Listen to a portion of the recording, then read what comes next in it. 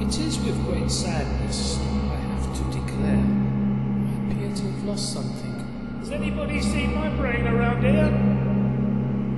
I asked this silly question because mine seems to not be at home. I've sat here poised to write, but the silly thing does not respond. So I have to assume I've lost it somewhere between the first and the last half page, or maybe over there.